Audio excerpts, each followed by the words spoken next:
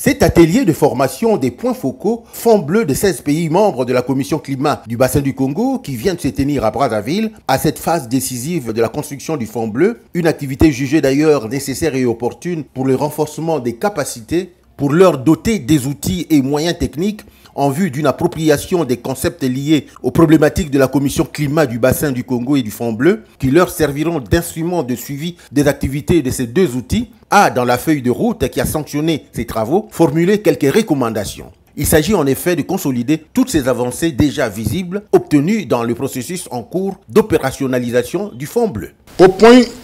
focaux, assurer le plaidoyer auprès des pays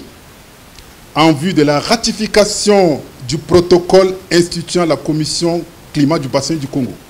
Et enfin, sensibiliser les partenaires locaux, notamment les parlementaires, les ministères impliqués, la société civile, les peuples autochtones et le secteur privé sur la Commission climat du bassin du Congo et le Fonds bleu pour le bassin du Congo à la coordination technique, initier et plaidoyer auprès des autres autorités des pays membres de la Commission climat du bassin du Congo pour prendre les dispositions nécessaires pour ratifier l'accord et mobiliser donc les financements de l'unité de démarrage. La coordination technique dont le dynamisme et l'engagement ont été remarquables et appréciés dans la conduite du processus de l'étude de préfiguration du Fonds bleu estime que les prochaines étapes du processus d'opérationnalisation du Fonds bleu pour le bassin du Congo bénéficieront d'un apport important des points focaux. Votre implication et votre engagement sans faille dans la réussite de cette œuvre commune sera déterminante dans l'attente des objectifs de notre commission, destinée principalement à concilier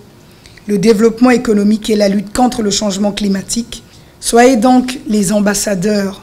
et les relais dans vos pays respectifs. Signalons que la commission climat du bassin du Congo a été créée en même temps que les deux autres commissions climat sœurs, celle du Sahel et celle des États insulaires, le 16 novembre 2016 à Marrakech, en marge de la COP 22 par les chefs d'État africains.